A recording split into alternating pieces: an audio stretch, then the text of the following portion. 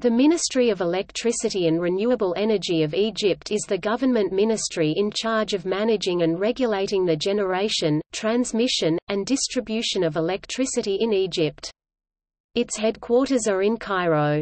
The current minister is Muhammad Shaker. The ministry was established in 1964 with Presidential Decree No. 147.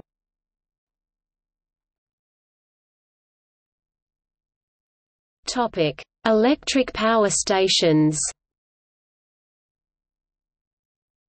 An agreement was made with Siemens, a German company, to implement power stations in Beni Suef, the new administrative capital, and Burullus by mid-2018.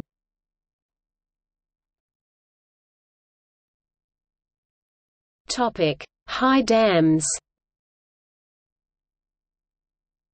The Aswan Dam, inaugurated in 1971, can generate 10 billion kilowatt-hours annually. A new high dam to pump and store water to produce electricity in Attica was in the works in mid-2017 in conjunction with Sinohydro, a Chinese company.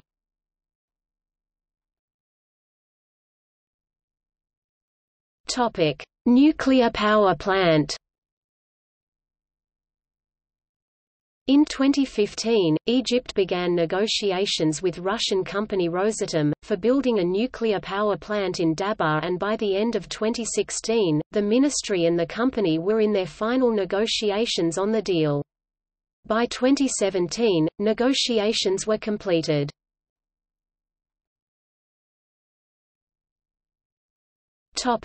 Petrol discovery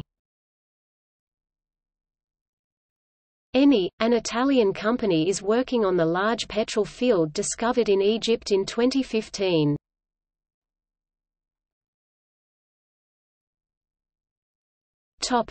Coal-fired plant As anticipated a year before, in September, 2018, a 4.4 billion agreement was signed for the building of coal power plant in Hamrawein, Egypt and will take at least six years to complete and become operational.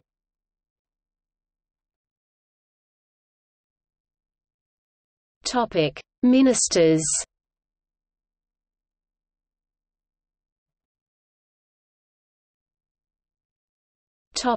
See also Energy in Egypt Cabinet of Egypt Aswan Dam